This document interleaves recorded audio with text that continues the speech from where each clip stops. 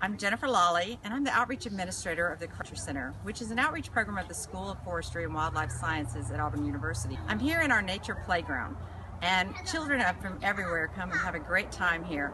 But one of the things we're missing in our playground is a spider web. We would love to have that here so that we could teach about arachnids and children would have a great time playing on it. But these webs are very expensive. It's around $6,000, so we really need you to donate. We want a spider web. Don't we need a spider web? Please, please donate um, so this spider gets a new home. We're tired of her putting web all over us. Thank you.